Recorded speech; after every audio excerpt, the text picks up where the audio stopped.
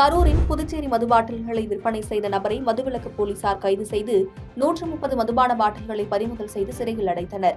கரூர் மாநகராட்சிக்குட்பட்ட கிழக்கு நஞ்சையா தெரு பகுதியைச் சேர்ந்த குணா என்பவர் வெங்கமேடு மேம்பாலத்தில் மதுபான பாட்டில்களை பதுக்கி வைத்து விற்பனை செய்வதாக காவல்துறையினருக்கு ரகசிய தகவல் கிடைத்தது.